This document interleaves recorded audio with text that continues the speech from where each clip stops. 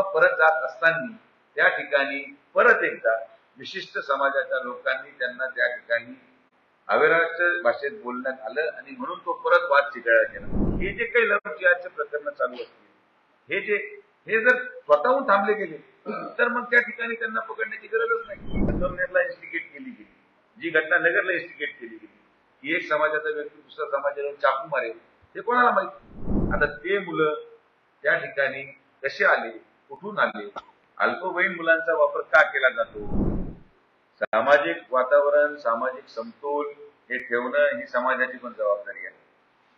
ज्या घटना घडत आहेत या घटना आणि जो आरोप भारतीय जनता पार्टीवर केला जातो की भारतीय जनता पार्टी हे समाजामध्ये कटुता पसरवण्याचं काम करते. भारतीय जनता पार्टी ही या सगळ्या गोष्टींना पुढाकार करते बढावा देते. याच्यामध्ये कुठलंही तथ्य नाही. मी तुम्हाला आवर्जून सांगतो की एक विशिष्ट ठराविक समाजामध्ये असलेले लोक या गोष्टीला इन्स्टिगेट करतात आणि मग हे प्रवृत्त केल्यानंतर हे प्रवृत्त केल्यानंतर कोणीही या ठिकाणी गप बसणार नाही. प्रत्येक व्यक्ती आपल्या समाजाच्या सुरक्षतेसाठी सुरक्षित भावनेने अतिशय शांतपणे नम्रपणे आपली भावना व्यक्त करतो.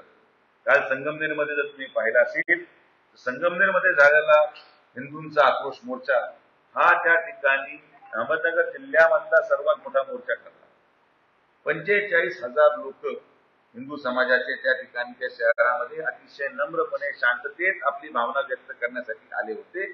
मात्र परतांनी किंवा परत जात असताना त्या ठिकाणी परत एकदा विशिष्ट समाजाच्या लोकांनी त्यांना त्या ठिकाणी अविराष्ट्र भाषेत बोलण्यात आलं आणि म्हणून तो परत वाद चिघळला गेला. माझं असं मत आहे की प्रत्येक समाजामध्ये काही घटक हे समाजकंटक असतात. समाजकंटकांना कुठला जात धर्म नसतो. आणि म्हणून प्रत्येक समाजामध्ये ही गोष्ट सगळ्यांनी समजून घेतली पाहिजे की शांतता ही ठेवली गेली पाहिजे.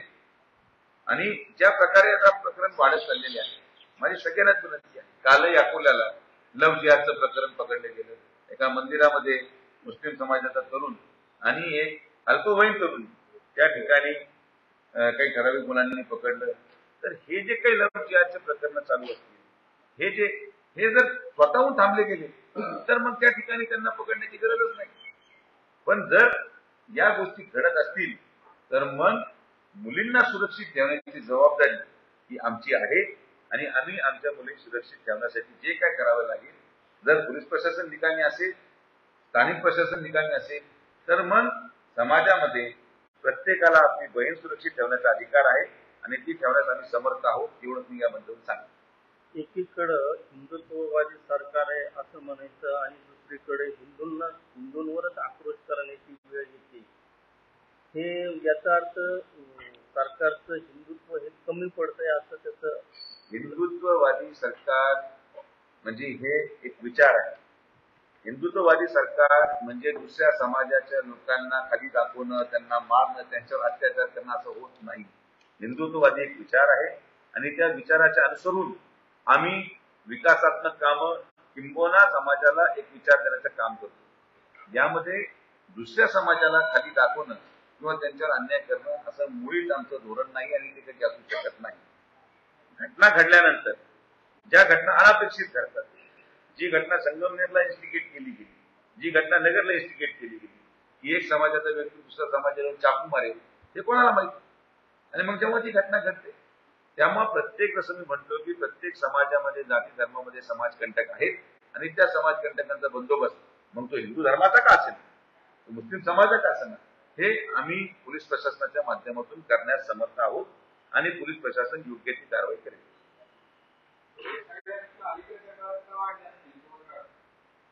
अलीकडच्या कालावधीमध्ये या घटना वाढण्याचं काय कारण आहे हे अजून एवढं फारसा त्याचा अभ्यास किंबहुना त्याची माहिती फार चांगल्या प्रमाणात आमच्याकडे नाही. लव जिहादचं प्रमाण का वाढलंय? या ठिकाणी जेवढ्या बातम्या येऊन जेवढी चर्चा होऊन देखील आज तरुण तरुणी हे थांबायला का तयार नाहीये? असं कशा पद्धतीचा मोजाड या आमच्या ठिकाणी त्या तरुणींसमोर विणलं जातं? हे एक स्ट्रॅटेजीच्या तहत आहे का नाही? एक विचाराच्या तहत आहे का नाही? या गोष्टी बोलणं हे फार प्रीमॅच्युअर होतील पण मला परत एकदा सगळ्या समाजाच्या तरुण आणि तरुणींना विनंती आहे की प्रत्येकाने तशी जबाबदारी लोकप्रतिनिधीची आहे. तर हिंदू समाजाच्या मुली असतील त्यांची तेवढी जबाबदारी आहे की त्यांनी या गोष्टी करू नये. मुस्लिम समाज बांधवांच्या आपल्या मुलांची तेवढी जबाबदारी की या प्रकार घडू नये यासाठी प्रयत्न केला पाहिजे. एका एकट्या लोकप्रतिनिधीची खासदाराची आमदाराची मुख्यमंत्र्यांची उपमुख्यमंत्र्यांची प्रधानमंत्र्यांची जबाबदारी नाही सामाजिक सालोखा टिकवणं हा समाजाच्या प्रत्येक नेतृत्वाच्या प्रत्येक प्रमुखाची जबाबदारी आहे जर पार पाडली गेली तरच थांबेल.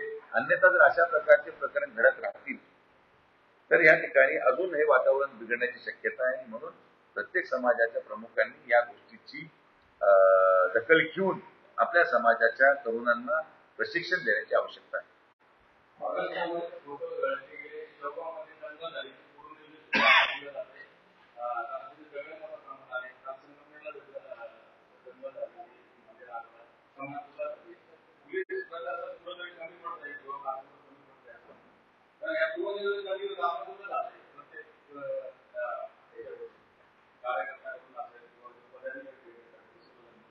नाही यामध्ये शेवगावची घटना आणि संगमनेरची घटनेमध्ये दोन वेगळे वेगळे विषय आहेत. शेवगावमध्ये पूर्वनियोजित जी काही संकल्पना आहे किंवा जो काही प्रश्न मांडला गेला की काय शेवगावची दखल पूर्वनियोजित होती का? तर तो पोलीस प्रशासनाद्वारे मी स्वतः या गोष्टीचं अं, म्हणणं मांडलेलं आहे की प्रत्येक समाजाने आपला सण साजरा करताना पोलिसांनी आता रूट बदलण्याची आवश्यकता आहे. ज्या रस्त्यांचा वापर केला जातो ज्या गल्ली बोळ्यांचा वापर केला जातो. शेवटी नगर शहर असेल शेवगाव शहर असेल ज्या ज्या समाजाला ज्या ज्या जाती धर्माच्या लोकांना त्यांचे त्यांचे सण साजरे करायचे असतील त्या ठिकाणी जे काही प्राचीन काळातून चालण्यात आलेले लूट आहे प्रत्येकाला गल्ली बोळेच का पाहिजे? प्रत्येकाला बाजारपेठच का पाहिजे? बाजारपेठेमध्ये गेल्यानंतर व्यापाऱ्यांनाही त्रास तिथं आलेल्या खरेदी करणाऱ्या आमच्या माता भगिनींनाही त्रास. एवढे ओपन हायवे रस्ते आहेत पेंडिंग आहेत. तिथं ते सगळे सण साजरे झाले पाहिजे. तर यावर सविस्तर चर्चा करून ज्या काही गोष्टी अगोदरपासून चालत आलेल्या आहेत त्यामध्ये बदल करण्याची आवश्यकता आहे. आता प्रत्येकाने आपला सण साजरा करावा ती गोष्ट योग्य आहे. पण मला असं व्यक्तीचा मत आहे की कुठलाही सण साजरा करताना प्रत्येकाने जर संयम ठेवला प्रत्येकाने टाळी एक हाताने वाजत नाही. कुठंतरी इन्स्टिगेट केल्यावर कुणीतरी इन्स्टिगेट केल्यावर घटना करतात कुणी गल्लीत चालत असेल समोरून शेजारून गल्लीतून एखाद्याने एक दगड चुकून मारला एका माणसामुळे सगळ्या लोकांमध्ये संभ्रम तयार होतो आणि ते आता बाहेर गोष्टी जातात. तर आपण जर पाहिलं शेवगावचे शेवगावचे सीसीटीव्ही फुटेज पाहिले असतील तर शेवगावच्या सीसीटीव्ही फुटेजमध्ये टार्गेट करून.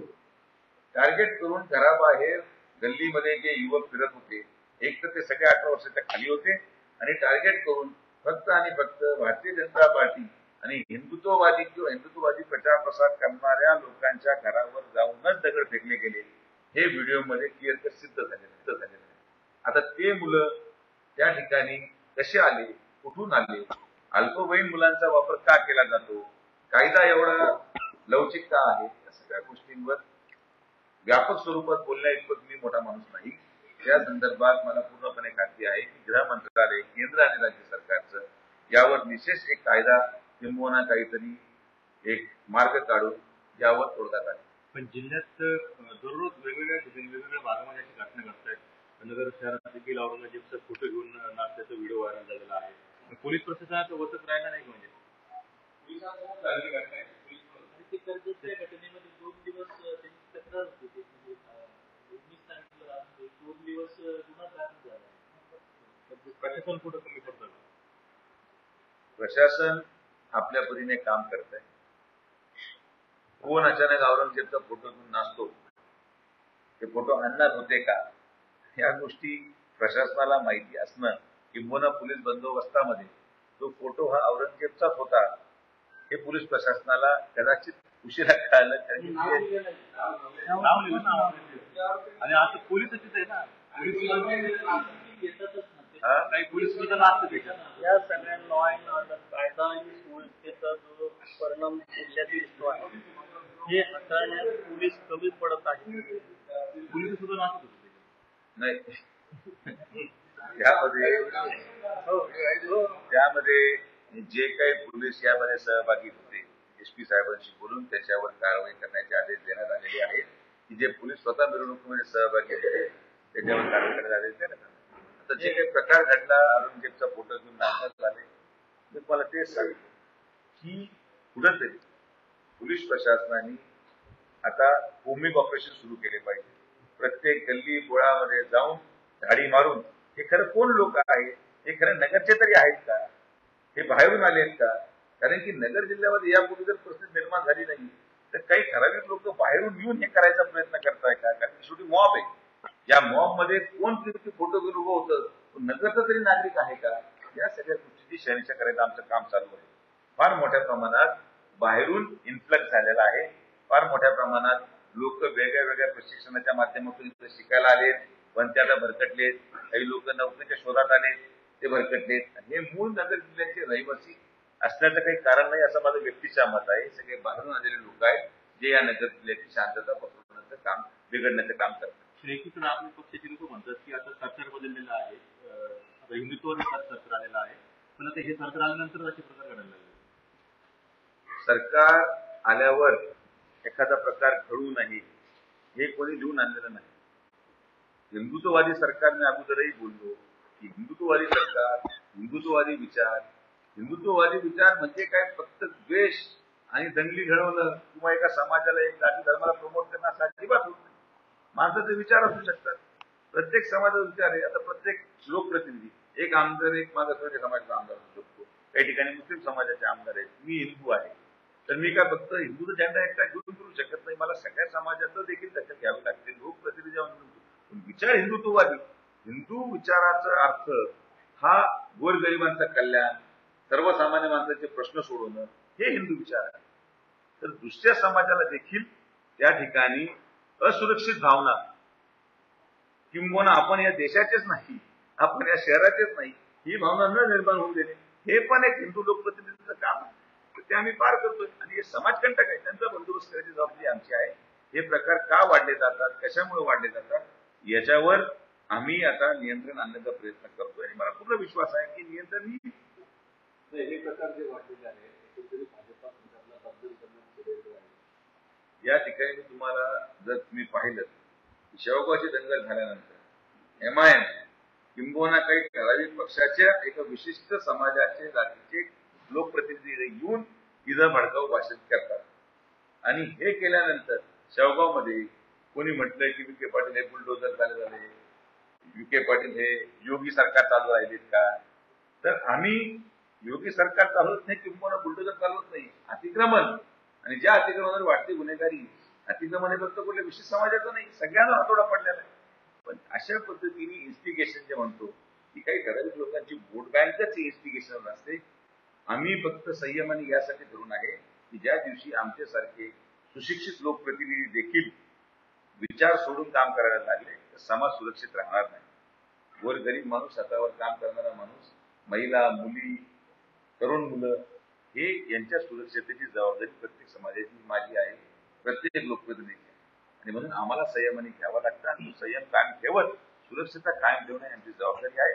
आम्हाला जे लोक टीका टिप्पणी करतात रोज उठून की भारतीय जनता पार्टी आल्यापासून हे घडायला लागले भारतीय जनता पार्टी हे घडून आणते हे या लोकांच्या खतपाणीमुळे तुम्ही बोट लावलं तर मग त्या ठिकाणी सुरक्षितता ठेवण्यासाठी आम्हाला जागरूक व्हावं लागतं.